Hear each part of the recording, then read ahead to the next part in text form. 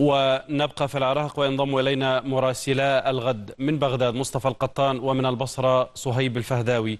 وأبدأ معك صهيب وضعنا في صورة ما يحدث الآن في البصرة بعد تلك الأحداث التي شهدتها البلدة. نعم منذ الصباح شيع سكان البصرة ستة قتلى سقطوا يوم أمس في التظاهرات وهو الحدث الأبرز في الصباح. عدا ذلك لم تخرج أي تظاهرات حتى الآن منذ الصباح وحتى هذه اللحظة التي أتحدث فيها. ولكن هنالك دعوات لناشطين على مواقع التواصل الاجتماعي بالخروج بتظاهرة حاشدة أمام مبنى المحافظة. دعوا إليها اليوم بعد الظهر. ستنطلق هذه التظاهرة بحسب الدعوات. هنالك إجراءات أمنية مشددة. السلطات عززت من تواجدها أمام مبنى المحافظة لمحاولة يعني السيطرة على مبنى المحافظة وعدم السماح للمتظاهرين للوصول إلى البناية يوم أمس كان يوم صعب جدا على البصرة. كان هنالك مصادمات عنيفة بين الأجهزة الأمنية والمتظاهرين. على الرغم من استخدام السلطات يعني نيران أسلحة متوسطة رشاشة في إطلاق العيارات النارية بالهواء لتفريق التظاهرات إلا أن التظاهرات استمرت رغم حظر التجوال حتى ساعات متأخرة. من الليل. على الصعيد السياسي كان هنالك يعني مطالبات من قبل سياسيين في البصرة ونواب من البصرة ب يعني المطالبات للحكومة بإيجاد حلول لهذه المشكلة وبعض النواب ذهبوا إلى التحذير من عصيان مدني قد يعني يكون الخطوة القادمة لتظاهرات البصرة بعد الأحداث التي شهدتها على مدار شهرين من انطلاقتها وحتى الآن.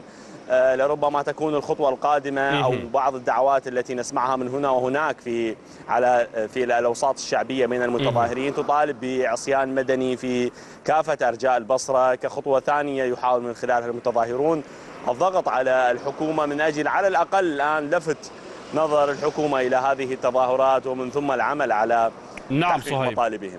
نعم. نعم ومنك أتحول إلى مصطفى في في بغداد. مصطفى إذا هل هل رشح رد فعل رسمي من قبل الحكومة في في بغداد صباح اليوم؟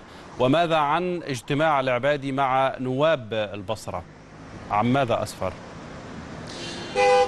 نعم طبعا استكمالا لما ذكره صهيب هنالك قيادي في تحالف سائرون وهو الشيخ صباح الساعدي. وأيضا عضو مجلس النواب عن البصرة طالب الحكومة العراقية والحكومة الاتحادية بالانتقال إلى محافظة البصرة. وإعلان البصرة عاصمة اضطراريه في هذا الوقت وأن يتسنم العبادي منصب المحافظ وقائد عملية البصرة من موقع أدنى من أجل حل جذري لهذه المشكلة، المحافظة تتظاهر منذ أكثر من شهرين دون أذن صاغية من الحكومة العراقية، رئيس الوزراء العراقي كان قد اجتمع بمجلس الوزراء يوم أمس من أجل وضع حلول، كان هنالك دراسة لعدد من المشاريع وكذلك الاقتراحات من أجل إنشاء مجمعات مائية وكذلك مشاريع تحلية مياه في محافظة البصرة، نفس الوعود التي أطلقت قبل فترة ليست بالقليلة دون تنفيذها على أرض الواقع، الاجتماع أيضا مع وجهاء البصرة وكذلك نواب البصرة.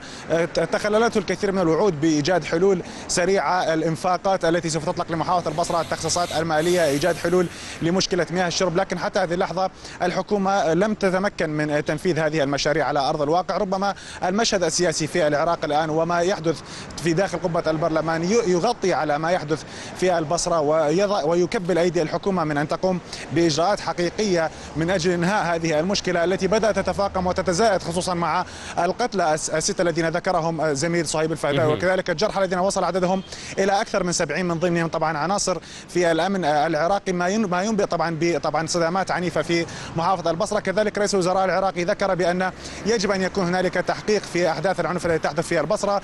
الجبهة التركمانية العراقية دعت إلى إنشاء خلية أزمة لكذلك لمتابعة الأحداث وما يجري في هذه المحافظة التي تغلي منذ أكثر من شهرين. نعم مصطفى القطان من بغداد أشكرك وأشكر صهيب الفهداوي من البصرة. شكرا لكما.